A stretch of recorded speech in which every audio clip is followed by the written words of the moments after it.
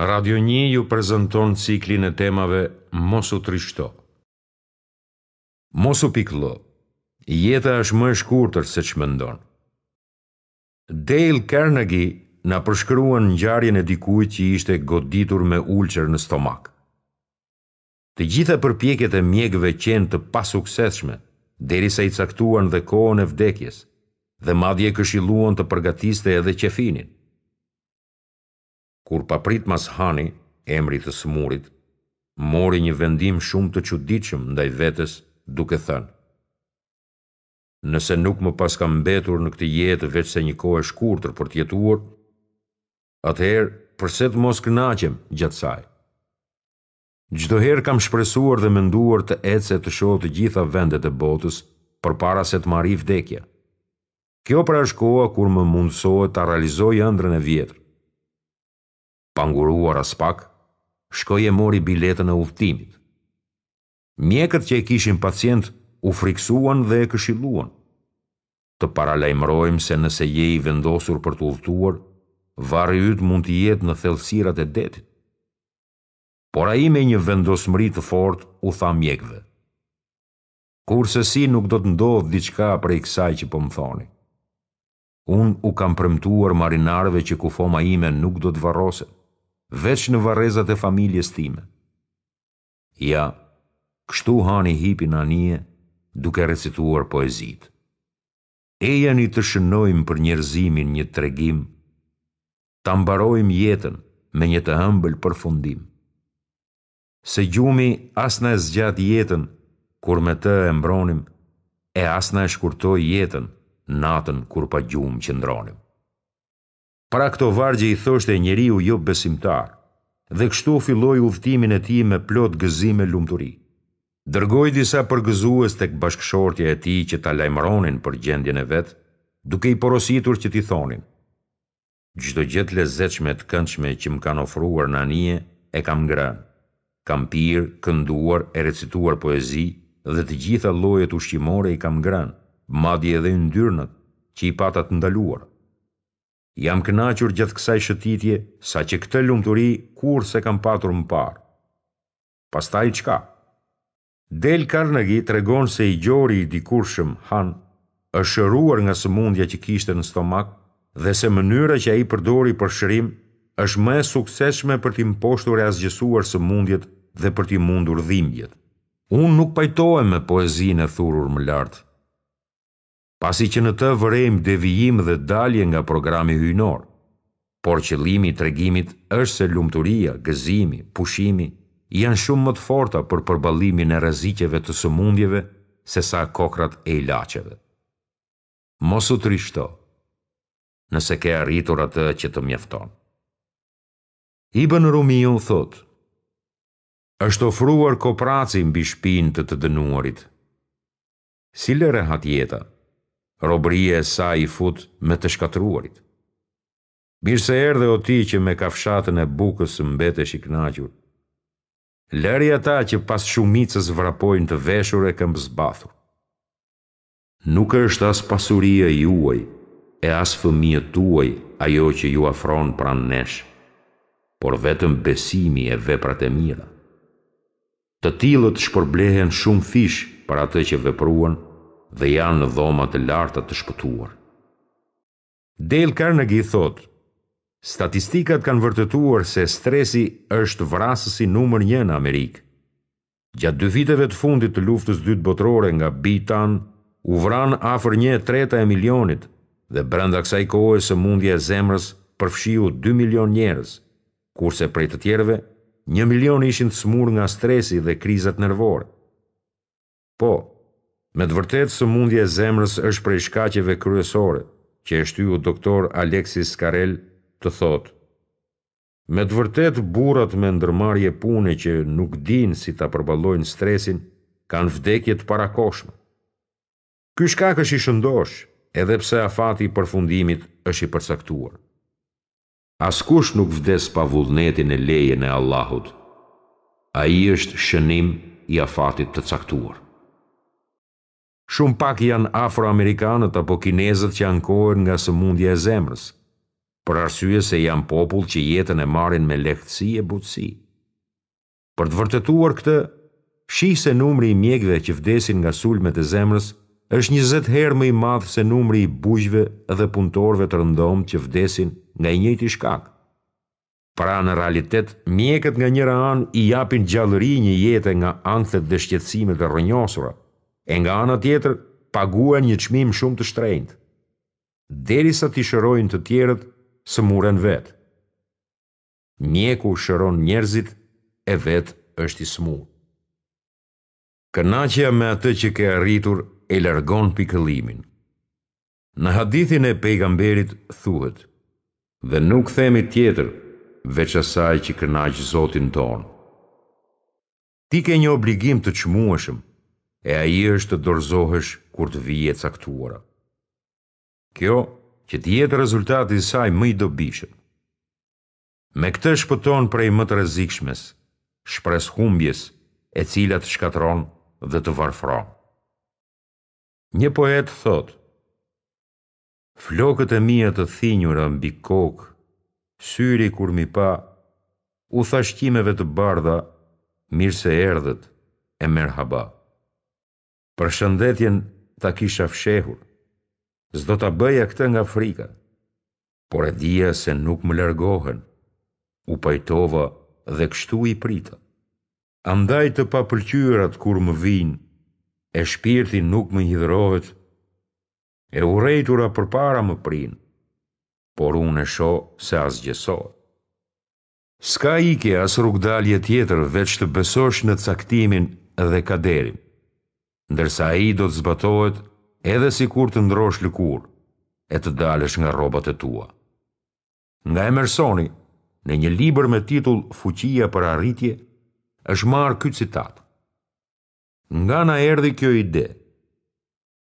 Jeta e lirë, e vendosur, e qetë, e pastër nga vështirësitë dhe pengesat është ajo që krijon lumturinë e njerëzve apo madhërinë e tyre?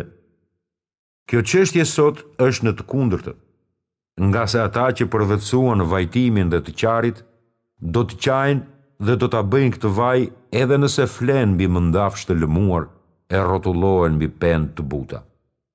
Historia dëshmon vetë se madhërimi dhe lumturia ia dorëzuan frerin burrave të shoqërive të ndryshme, ku gjenden të mirë dhe të këqinj, por në to u rritën edhe burra që bartin përgjegjësitë mbi supet e tyre e që nuk i hodhën ato pas shpine.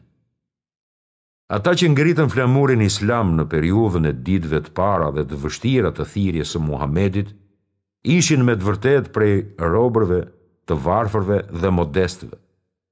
Pjesa më e madhe e popullit që u ndesh me besimin e shenjtë ishin të mëdhenj dhe liderët e popullit pabesimtar. pasanikët, bartësit e pozitave dhe pronarët e pallateve. E kur u lexoheshin atyre ajetet tona të argumentuara, ata që nuk kishin besuar u thoshin atyre që kishin besuar, Cili grup, ne apo ju ka vend jete më të mirë dhe kuvend më autoritativ? Ata thonin, Ne kemi më shumë pasuri e fëmijë e nuk do të ndëshkohemi. A këta janë mes nesh që Allahu i dhuroi? A nuk është Allahu më i dijshmi për ata që janë mirënjohës? E ata që nuk besuan, u thanë atyre që besuan. Sikur të ishte feja ndonjë e mirë, ata nuk do ta përqafonin para nesh. Ata kryelartit thanë, Ne jemi mohues të asaj që ju i besuat. Pastaj thanë, Përse të mos i ketë zbritur ky Kur'an një njeriu të madh nga dy qytetet? A thua ata e përcaktojnë mëshirën e Zotit tënd? Të përkujtoj një varg nga poezitë e Antares, i cili na tregon se vlera është në sjelljet e mira, në moralin e lartë dhe në karakterin që ka, e jo në prejardhjen dhe emrin e farefisit të tij. Thotë, Nëse unë jam rob, jam zotëri fisnik e bujar, ose kam ngjyrë të zezë, por kam moral të bardhë. Nëse ke humbur një organ të trupit, ke të tjera që e kompensojnë atë. Ibn Abasi thotë, Nëse Allahu merr nga unë dritën e syve të mi, drita përsëri mbetet në gjuhën dhe dëgjimin tim. Zemrën e kam të shëndoshë dhe mendjen të plotë, e gjuha ime është e mprehtë si shpata e heroit. Ndoshta pas dëmit që të ka ngjarë, fshihet diçka e dobishme dhe ndodh që urreni diçka, e ajo mund të jetë e dobishme për ju. Beshar Burdi thotë, Më përçmojnë armiqtë edhe pse e meta është e tyre. Nuk është turp të të thërrasin i mangët. Nëse njeriu vren trimërinë e devotshmërinë, verbëria e syve nuk do të dëmtojë. Në verbërinë shoh shpërblim, shpëtim dhe mbrojtje, kurse unë për këto të tria kam më shumë nevojë. Shiko dallimin mes fjalës së Ibni Abbasit e Besharit dhe asaj të cituar më poshtë nga Salih Abdul Kudusi. Lamtumirë kësaj bote se për plakun e verbër në këtë botë nuk ka fat. Njeriu vdes dhe përsëri konsiderohet i gjallë. Shpresat e rrejshme e mashtrojnë atë. Më jep shpresë mjeku në shërimin e syve, por në fakt gjithçka është afër njëra tjetrës. Përcaktimi i Zotit do ta ndeshë atë që e pranon dhe atë që e mohon, e kjo s'mund të ndalet. Por ai që e mohon do të ndëshkohet dhe ai që e pranon do të shpërblehet e do të jetë i lumtur. Umer ibn Abdul Azizi i thonte Mejmun ibn Mehranit në një letër, Më ke shkruar të më ngushëllosh për Abdul Melikun. Këtë s'e prisja, por meqë ndodhi, e pranova plotësisht. Ndërrimi i ditëve sjell të mira dhe të këqija. Ahmed Hanbeli kishte vizituar Beki bin Muhalidin, i cili ishte i sëmurë dhe iu drejtua me fjalët, O Beki! Të përgëzoj për shpërblimin e Allahut! Ditët e shëndetit kur s'je i sëmurë dhe ditët kur je i sëmurë e pa shëndet. Kuptimi, Në ditët e shëndetit njeriut s'i vjen ndërmend sëmundja dhe si rezultat i shtohen dëshirat dhe ambiciet. Po ashtu në ditët e sëmundjes, s'të shkon mendja te shëndeti e si rezultat vjen plogështia, humbja e shpresës dhe mërzia. Fjala e Imam Ahmedit është nxjerrë nga ajeti kuranor. Po nëse Ne i japim njeriut ndonjë begati e pastaj e tërheqim atë prej tij, ai do të jetë shumë i dëshpëruar dhe përbuzës. E nëse pas të keqes që e pat goditur atë, ne i dhurojmë të mira, ai do të thotë, Kaluan të këqijat prej meje. Vërtet, ai është i shfrenuar dhe mendjemadh. Përveç atyre të cilët kishin durim dhe bënin vepra të mira, të tillët kanë falje dhe shpërblim të madh. Në lidhje me këtë, Ibën Kethiri tha, Allahu na njofton me njeriun si krijesë dhe na përshkruan cilësitë e tij të qortuara.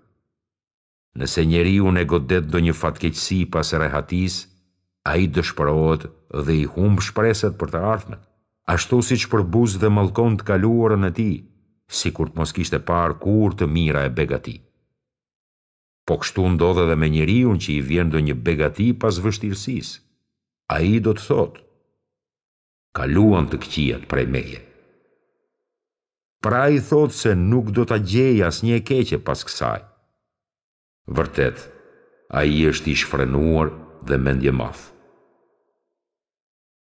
Pra u gëzua me atë që posedon dhe tregon kryelartësi para të tjerëve. Allahu thotë, Përveç atyre që kishin durim dhe bënin vepra të mira, të tillët kanë falje dhe shpërblim të madh.